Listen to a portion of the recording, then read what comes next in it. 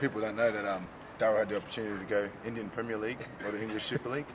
He's um, he's half Fijian, half Indian. Yeah, um, I think he's ashamed of the other half. But he's um, just tell us what, what was your final decision of not playing for the Indian cricket team but choosing rugby league? Um, I think playing with blokes like you, making me smile all day, and all that kind of stuff. And yeah, so that was the main reason why I came here to play with the pink player. That's great. Um, he also makes a great butter chicken with pappadam.